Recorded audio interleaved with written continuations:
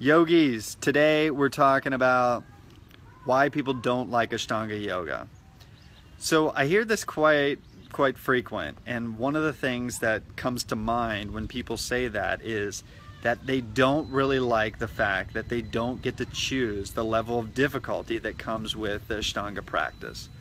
So in other styles, you know, people give or the teachers give different poses to do or variations of um, a hard pose to people that are struggling with it. In contrast, like in Ashtanga Yoga, we don't do that.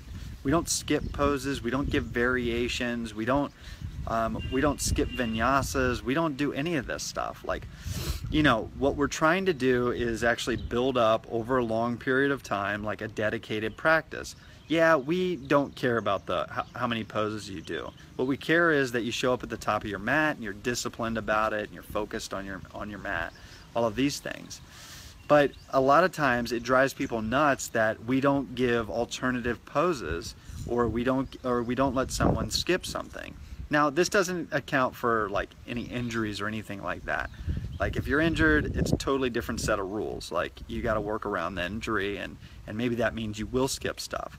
But for just like the regular student, we don't skip anything. This isn't a, it's not a vinyasa style class and the method behind it is that when we're practicing Ashtanga yoga, you give up external freedom. Like the the play aspect of what vinyasa does, right? Like let's just play, let's do a handstand, let's do whatever. Um, but in Ashtanga Yoga, we want internal freedom. And so we give up external freedom for internal freedom. And I think that's the biggest point. It's a controlled experiment. Like we're trying to do the same thing over and over and over, maybe add on poses over a long period of time so that we can get really good at this stuff. And so that we can see the progress. You know, we don't change things because we want to see the progress. Like that that is an important aspect of what we're doing.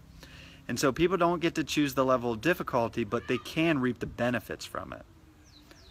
Clean it up, yogis.